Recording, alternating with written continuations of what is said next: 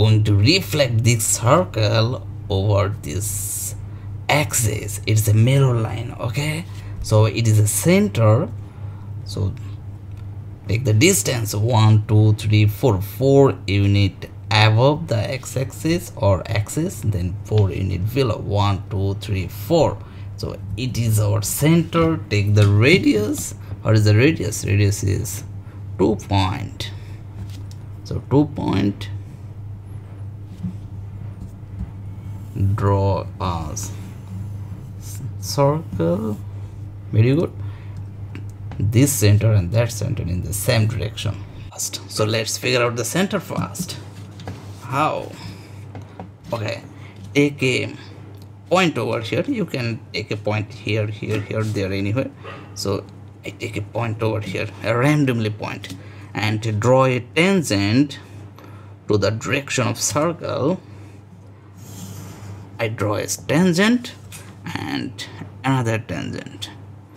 Tangent means what? Tangent means a line which is intersect to the circumference of a circle. Okay here is a point intersection point and maybe there is a intersection point. And take a protector make a 90 degree angle over here on this point where this on is that correct? Oh yes it is correct. It is 90 degree. Draw this line and another 90 degree line. Over this point here is a 90 degree angle. Draw the line. It is your center. If and then take a big scale draw a big line big line. Then where? Compass